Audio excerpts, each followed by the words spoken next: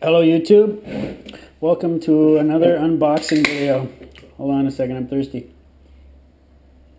No, this video is not brought to you by Coca-Cola. So I placed an order with pointofviewcameras.ca for some uh, additional GoPro components. Uh, there'll be a link, if you live in Canada, there'll be a link at the bottom of the, in the info box. You live in the States, they also do have an American website. So let's open up here, see what I got.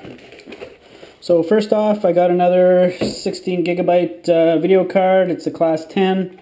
Uh, they say it's designed for HD video. Uh, I just added that on there because they have a decent price. I got another grab bag of mounts. Never have too many of these mounts, especially when I'm using them on a bicycle.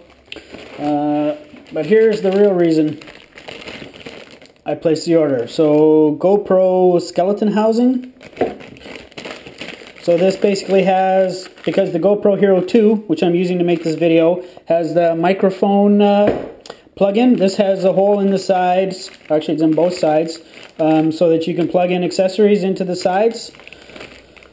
So that'll allow me to do some legitimate motorcycle vlogging at highway speeds. I'll be able to talk and you won't, won't be drowned out by wind noise.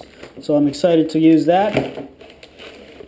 And to go along with that, I have a microphone. Just take this out here with the 3.5 millimeter connector, which is what the GoPro Hero 2 has. And nice little foam end. Quite sure how that works. Okay, that might slide in there. You can clip it on somehow I think I'll either clip or tape this to the inside of the helmet. So I'll make a second video with uh, the helmet cam setup. But here's my quick little video of my unboxing.